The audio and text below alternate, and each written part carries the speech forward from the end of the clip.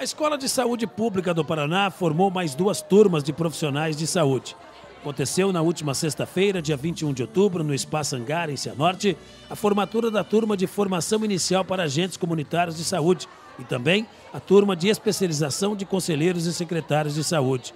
Todos formados pela 13ª Regional de Saúde. E a partir daí, formarem uma saúde pública que dignifique a pessoa, o ser humano, que nele busca cultivar uma vida saudável. O Conselho Estadual de Saúde tem se preocupado com a qualidade do atendimento e também da gestão pública.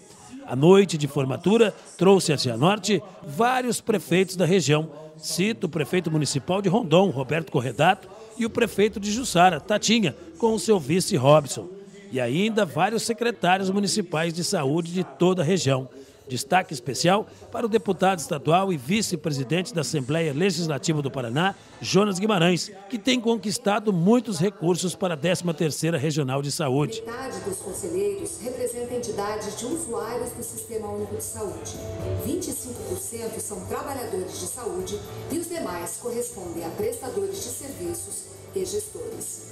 Esse grupo exerce o controle social do SUS no Estado. Foram sete meses de aula para chegar até este momento. É a saúde pública ganhando qualificação profissional e uma melhor gestão.